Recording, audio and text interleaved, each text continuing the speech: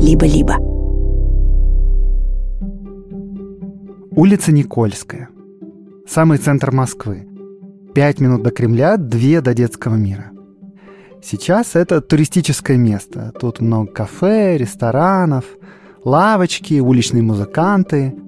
А вот в XIX веке Никольская была одной из главных торговых улиц города. Иметь флагманский фирменный магазин на Никольской – это прямо явный показатель успеха. Когда будете гулять по Никольской, дом под номером 1921 наверняка привлечет ваше внимание.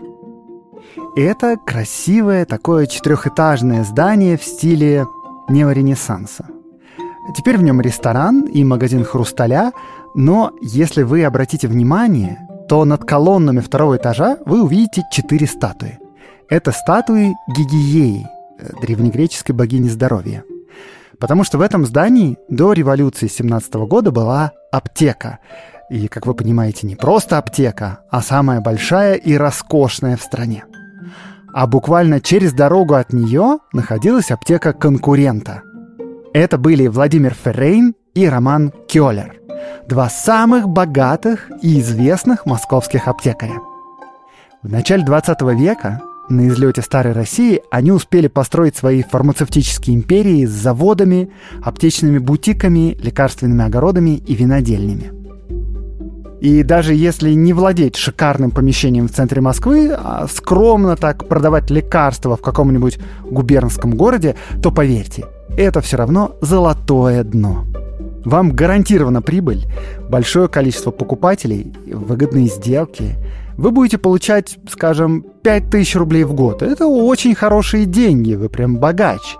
Можете каждый год покупать себе по большому добротному дому в вашем губернском городе. Но вот стать аптекарем – эта задача не самая простая.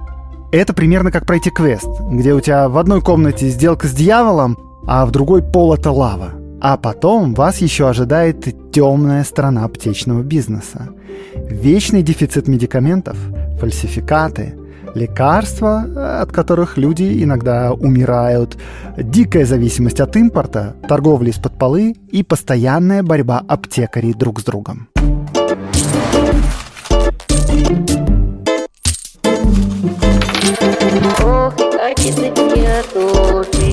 Это подкаст «Время и деньги» студии «Либо-либо» о роли бизнеса в истории.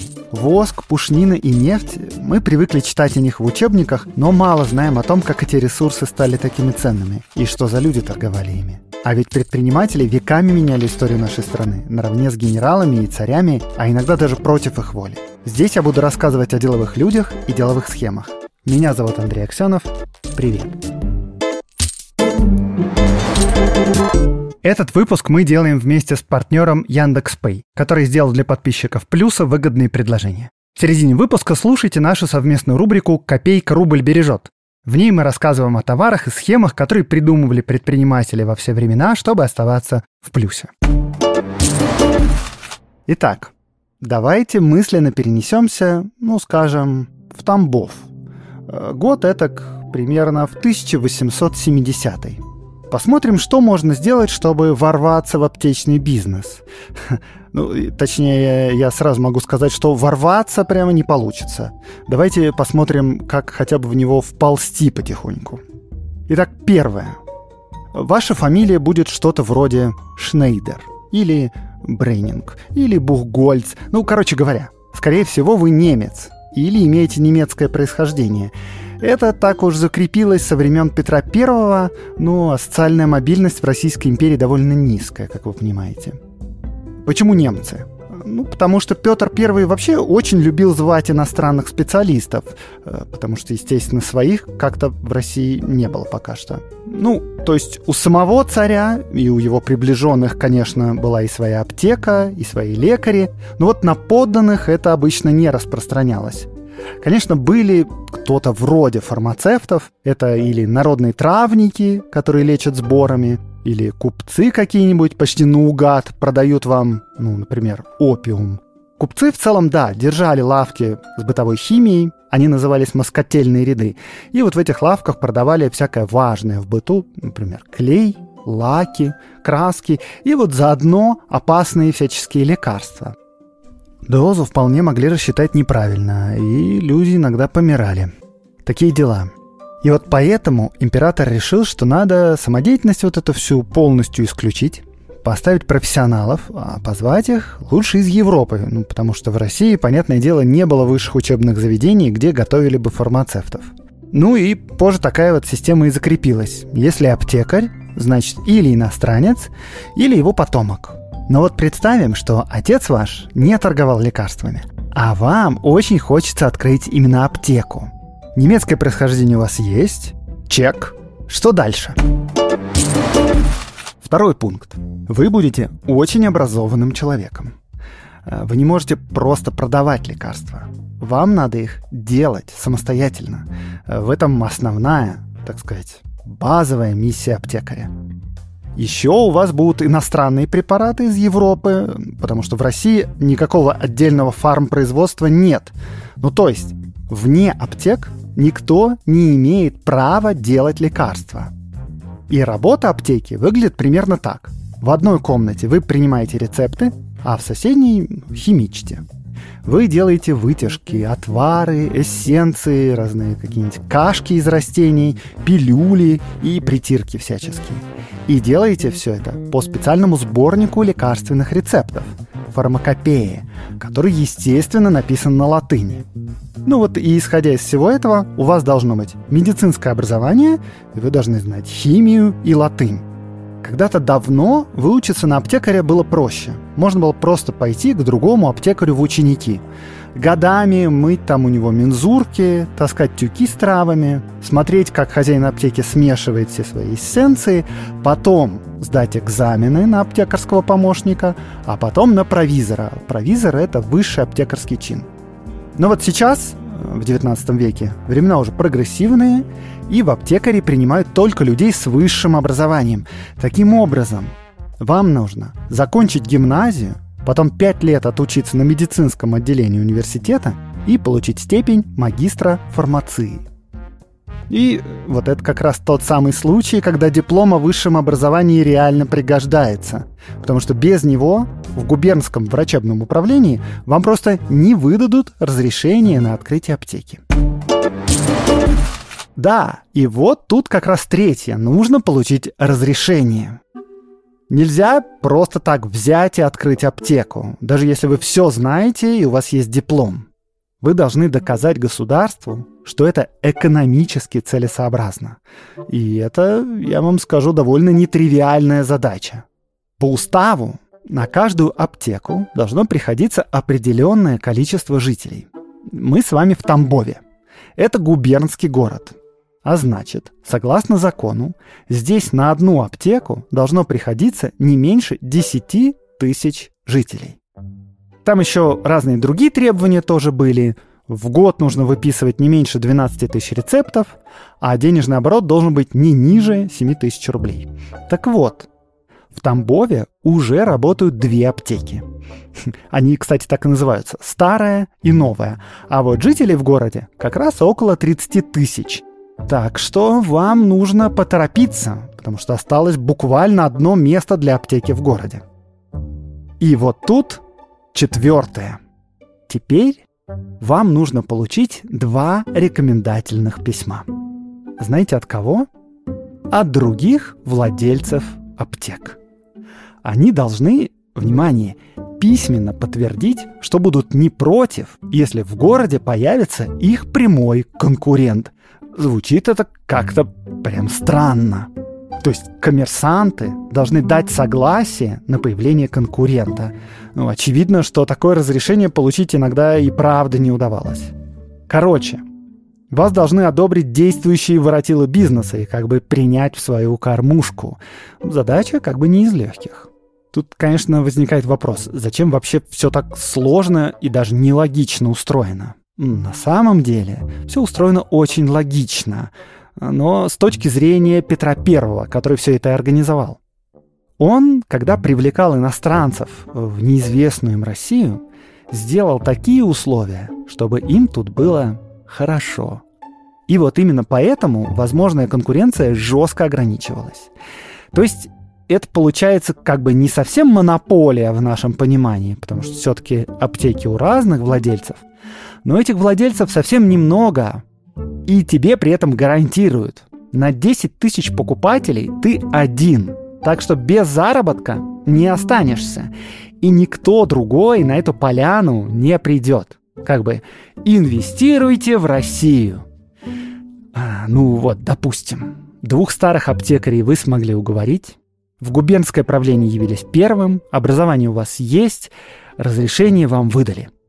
Ну что, вы прошли целый квест и умудрились вползти э, в эту жуткую аптечную монополию, которую вот как Петр I установил 150 лет назад, так она и жила себе около двух веков. Пробиться не каждому повезло, но вот вам повезло.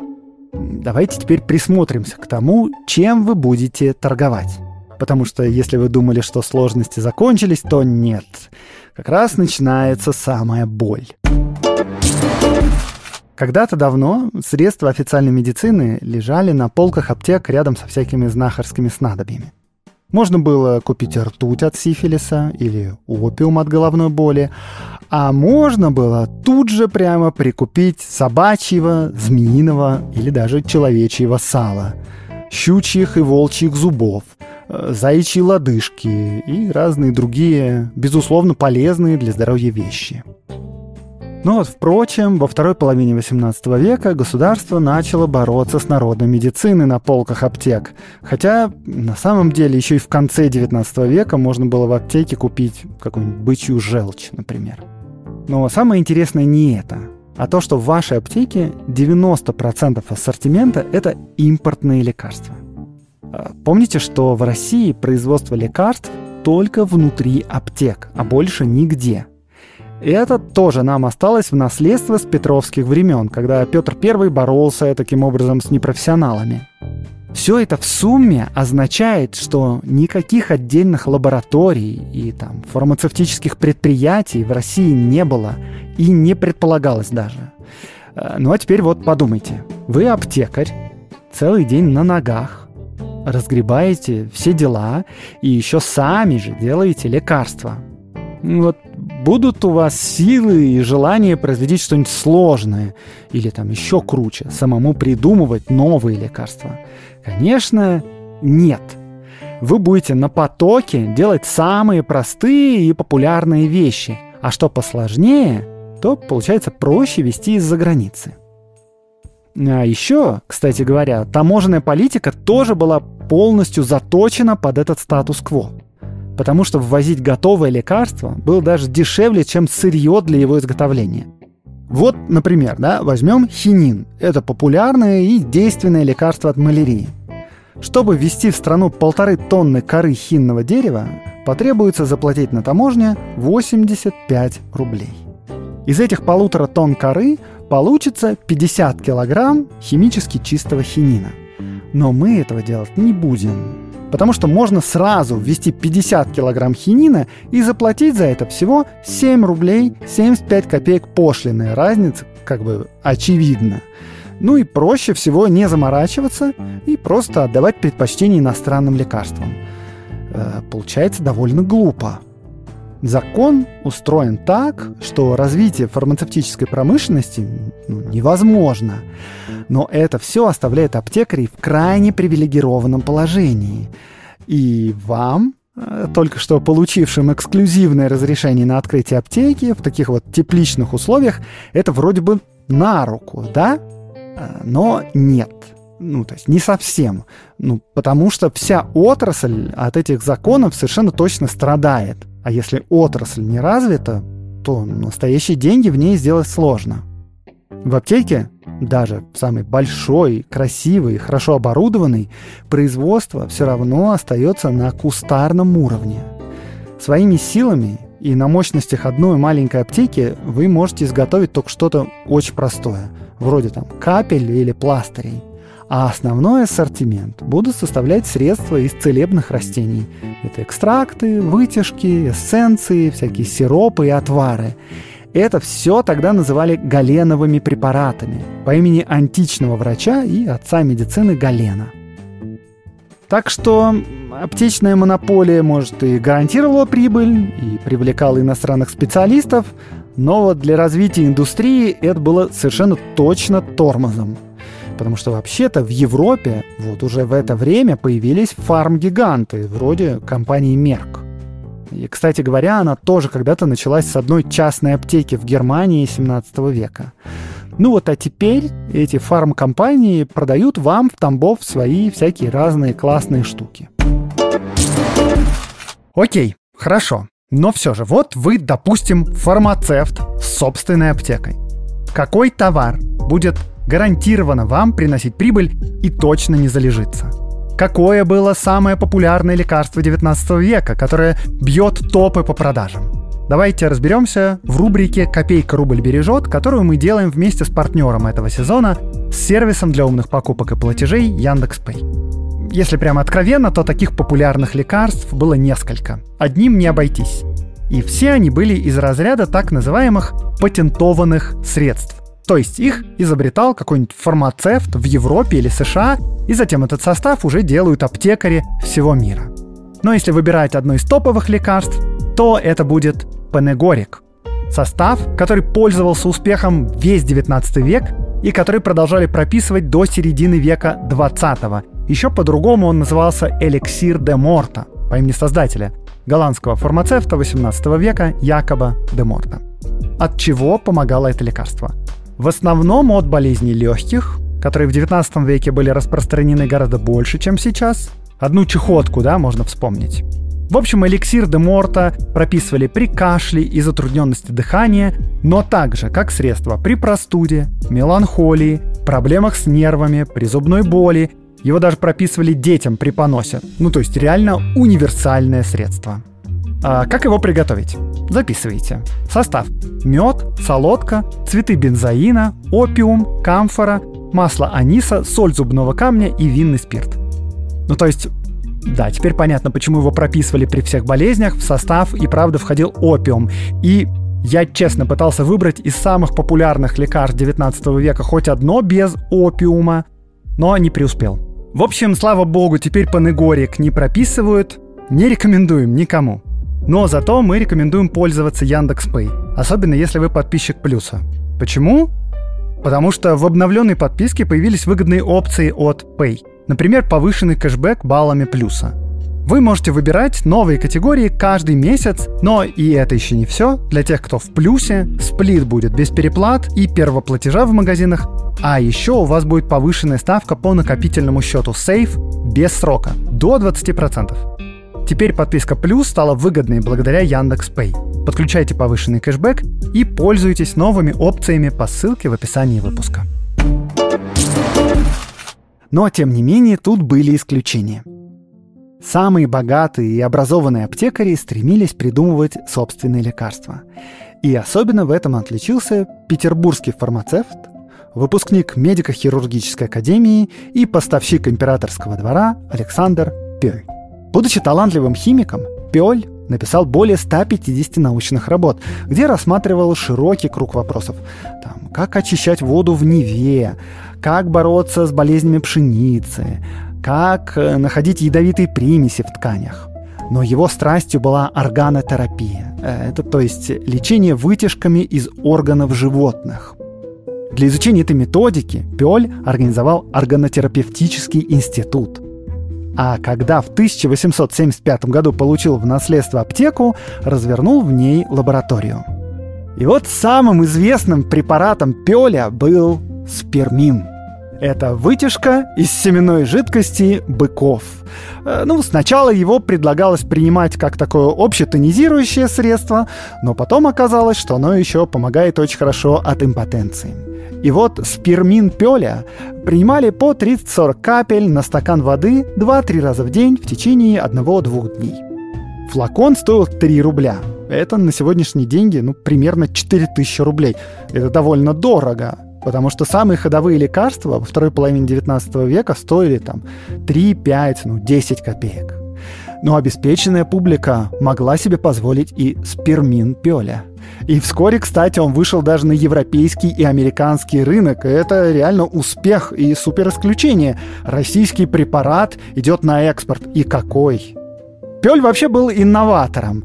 Он, например, первым в России ввел в оборот дозированные лекарства в виде таблеток, потому что до этого их продавали на вес в виде порошков или разливали по бутылочкам. И он же внедрил в фармацию методы септики и антисептики. Ну, потому что до него ни вода, ни растворы не стерилизовались. Вот так вот просто все было устроено по-домашнему. Аптеки могли легко использовать для изготовления лекарств воду прямо из водопровода. И в лекарства, конечно, могли запросто попасть микробы. Так что вводить инъекции вообще-то было смертельно опасно. Так вот, Пёль использовал дистиллированную воду.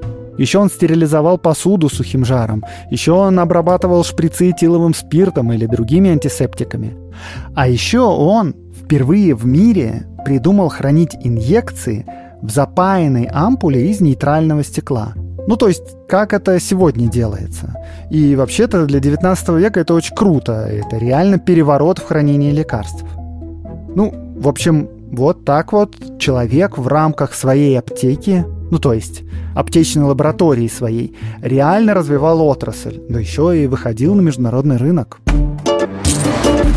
Однако, если вы не пёль, а просто хороший аптекарь, то даже самые простые и уже известные лекарства надо собрать из ингредиентов.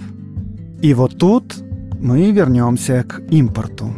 Потому что ингредиенты тоже придется закупать за рубежом. И это касается не только коры хинного дерева, которое, понятное дело, в России не растет, а даже вполне вообще обычных вещей, типа, ну я не знаю, какой-нибудь ромашки – и это реально удивляет даже самих иностранцев. Вот английский врач Август Гринвилл, побывавший в России в конце 20-х годов 19 века, задавался вопросом, вот я цитирую, «Почему же такой город, как Санкт-Петербург, с его профессорами, химиками, когда любые минеральные вещества, равно как и требуемые растительные субстанции, могут быть с легкостью доставлены из внутренних районов империи, не может организовать снабжение многими химическими веществами, и их присылают из Англии. Без сомнения, эти же самые лекарства могут производиться в России, если для этой цели будут найдены компетентные люди. И вот такая зависимость от импорта – это норма для российских аптек того времени. Сначала это объяснялось привычкой, потому что в XVIII веке, чтобы сделать лекарство, нужно было знать, где растет нужная трава. И первые немецкие аптекари, естественно, в тамбовских и рязанских лесах не ориентировались. И поэтому продолжали покупать сырье у себя на родине. И вот так вышло, что за рубежом заказывали даже те травы, что спокойно росли где-то под забором рядом. Короче, зачем государство вообще ввело аптечную монополию, если все стало вот так вот сложно? Чем руководствовался Петр Первый? Ну, то есть, помимо того, что он хотел создать условия для иностранцев. Дело в том, что таким вот способом хотели контролировать качество товара. Петр I предполагал, что государство с помощью монополии обеспечит аптекарям хороший доход, а они в обмен на это будут заботиться о высоком качестве своих лекарств. Ну, потому что Роспотребнадзора и каких-то современных методов химического анализа тогда еще не существовало. И вот во времена Петра качество лекарств держалось буквально на честном слове. Но, как это часто бывает, начальственные планы в реальности воплотились прямо противоположно. Потому что конкуренции практически нет – а когда ее нет, тебе не нужно расширять ассортимент или повышать качество обслуживания, потому что люди к тебе и так будут ходить. Но и это не все. Вас подстерегает еще один соблазн – забить на качество. Вот смотрите, дела ваши идут хорошо. Аптека ваш в Тамбове, где вы работаете с двумя служащими и там, ну, с пятью мальчиками-помощниками, скоро начинает приносить прекрасные 5000 рублей годового дохода. Это примерно столько же, сколько промышленное предприятие, на котором работает 50 человек. И вот однажды к вам приходит приказчик от местного богатого купца. Он хитро так смотрит на вас из-под картуза и предлагает вам продать вашу аптеку купцу за немыслимую сумму, за 15 тысяч рублей. И вот во второй половине XIX века такие предложения были не редкостью. Из-за высоких доходов аптеки стали для купцов заманчивой инвестицией. Спрос на них взлетел, а из-за того, что их было мало, аптеки стали предметом спекуляций. Их перекупали и перепродавали много раз, и цены на них постоянно росли. Некоторые аптеки покупали по цене 8-10 раз выше номинальной и в 3 раза превышающий валовый годовой доход всей аптеки. Из-за всего этого к концу века больше половины аптек перешло от провизоров во владение к богатым купцам. Ну, те, разумеется, не собирались сами стоять за прилавком и отпускать покупателям какую-нибудь настойку тысячелистника. Но отбивать вложения им, конечно, хотелось. И поэтому они просто оставляли тех же самых провизоров фиктивными владельцами. Только теперь они обязаны были просто стабильно платить купцу большой процент с доходов. Эта схема выглядит странновато. Ну, потому что, казалось бы, ты покупаешь аптеку, ты владелец, весь доход твой, а своему управляющему ты просто должен платить зарплату. Но тут получается наоборот. Управляющий платит тебе процент с дохода. Это похоже на самом деле на такое крышевание, когда у тебя ну, просто забирают часть дохода. Но, в общем, именно так это и работало.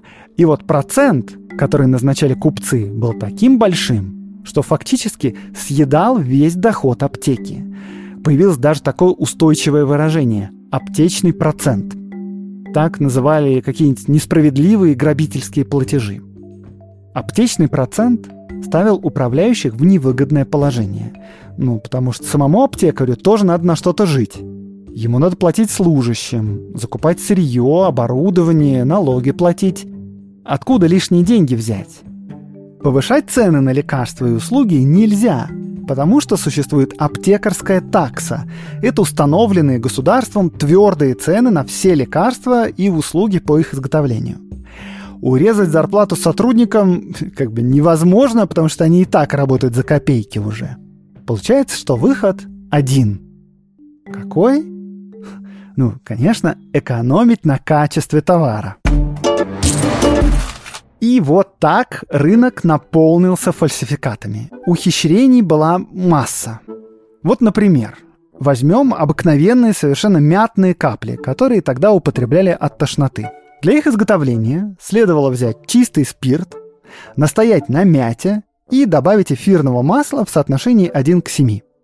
Но фальсификаторы брали спирт разбавленный, настаивали его не на мяте, а на крапиве или вообще на каком-то другом зеленом растении и добавляли масло в соотношении 1 к 24.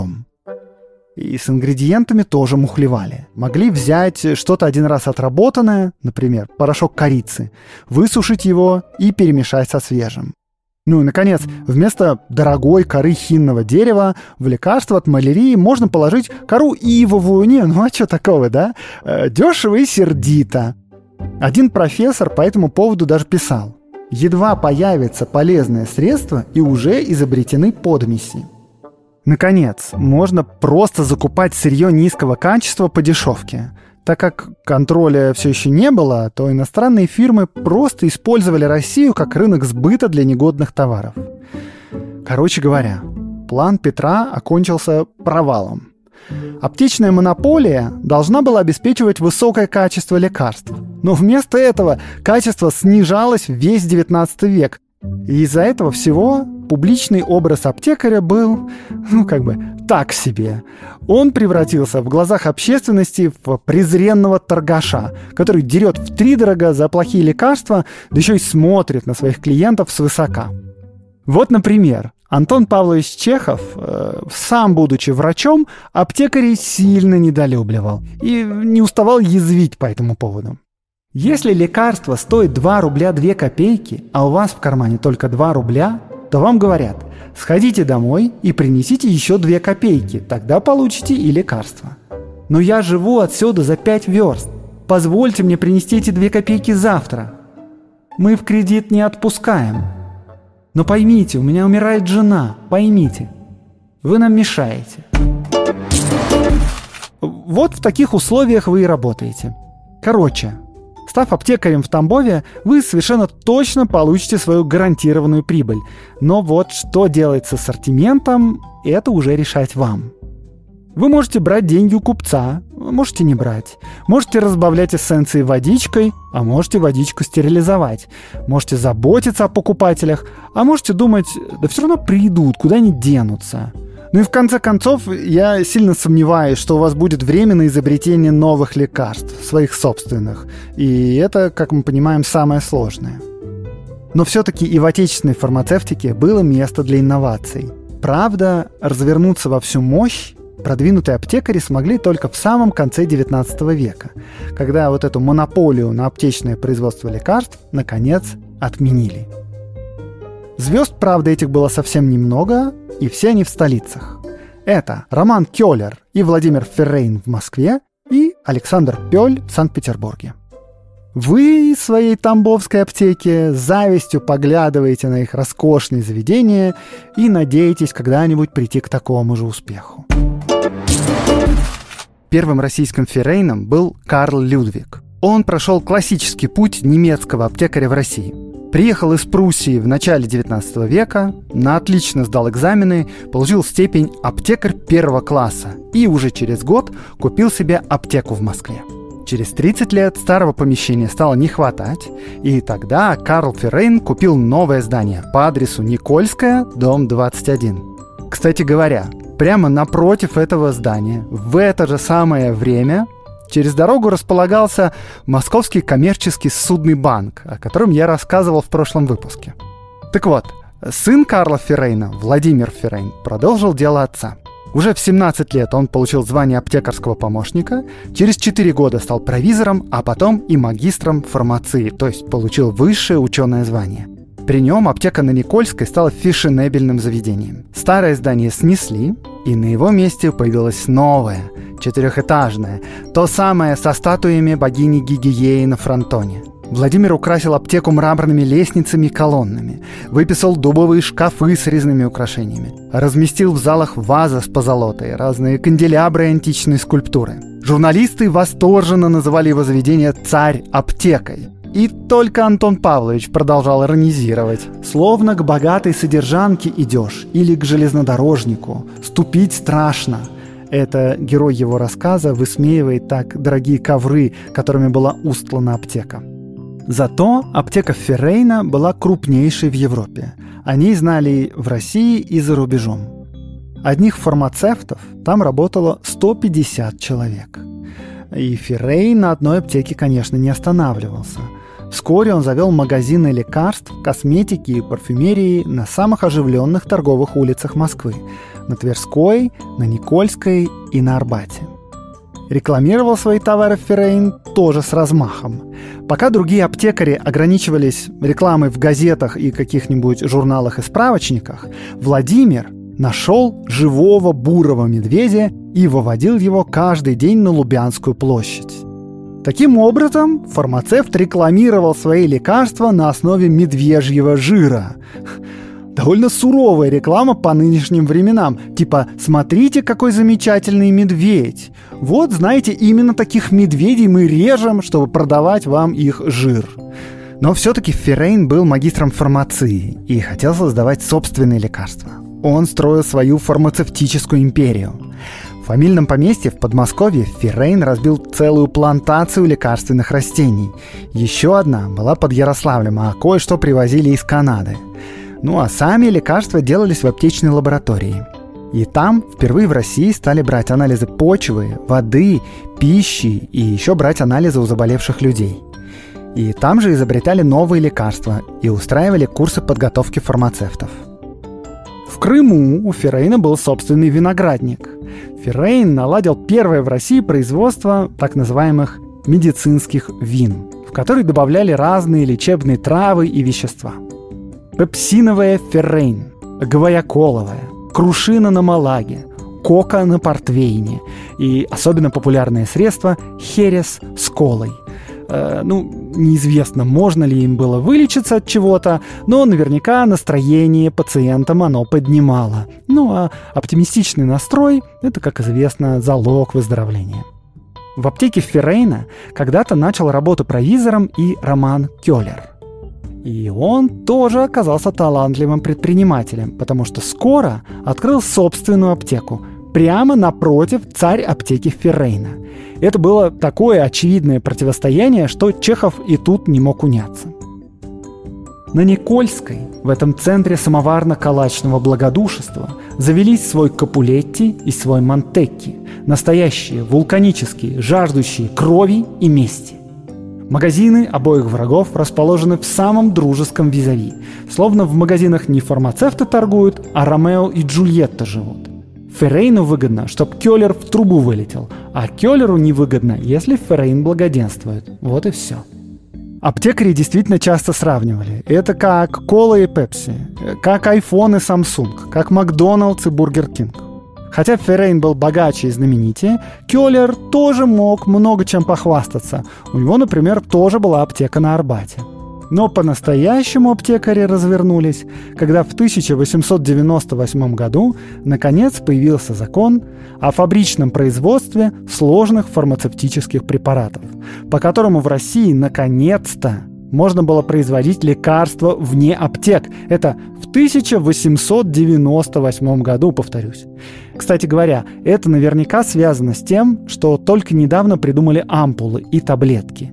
То есть лекарства теперь могут храниться долго, там, транспортироваться. Короче, не обязательно производить их свежими прямо на месте продажи.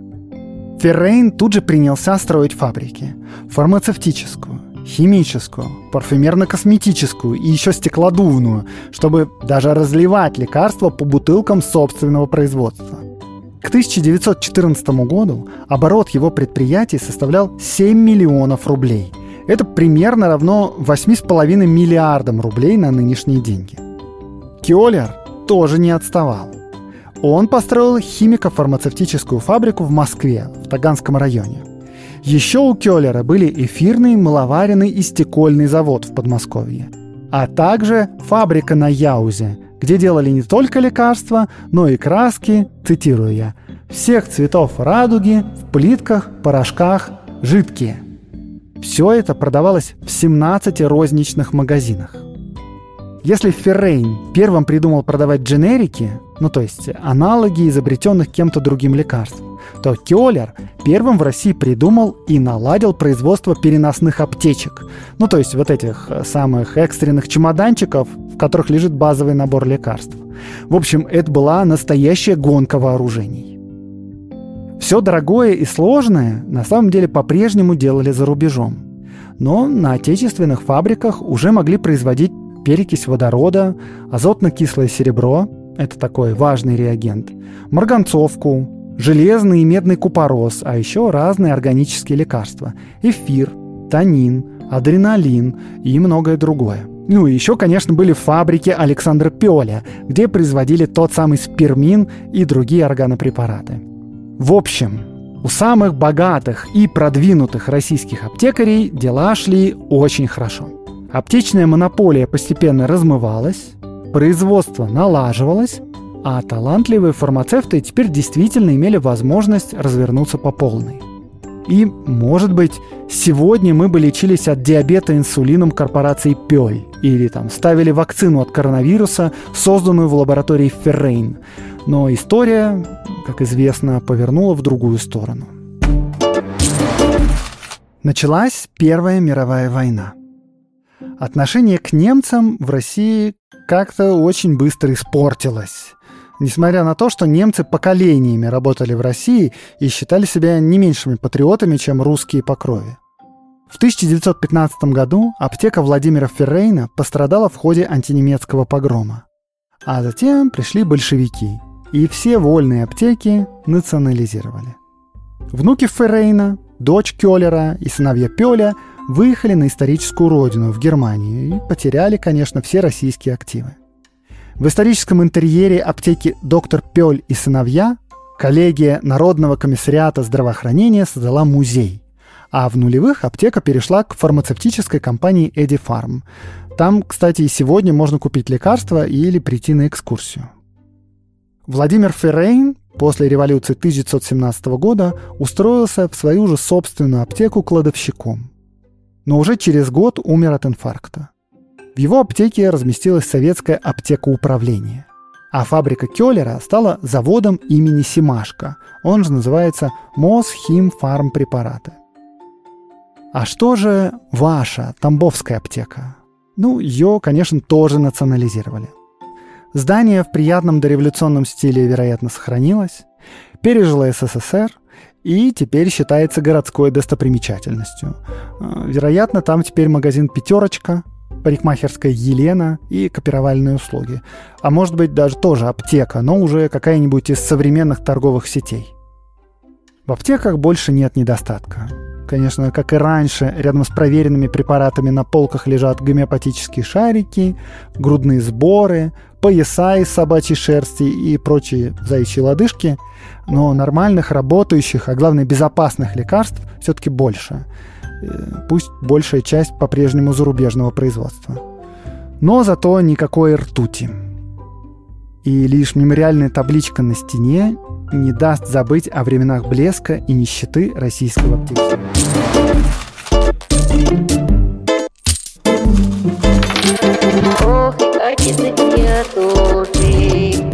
Это был подкаст «Время и деньги» студии «Либо-либо». Этот выпуск для вас готовили ведущий Андрей Аксенов, сценарист Евгения Щербина, редактор Жанна Алфимова, продюсерка Олеся Бутенко, фактчек Никита Дешевых и Дмитрий Катаругин, звукорежиссеры Эльдар Фаттахов и Юрий Шустицкий, композиторы Кира Вайнштейн и Михаил Мисоедов, автор обложки Максим Сергеев.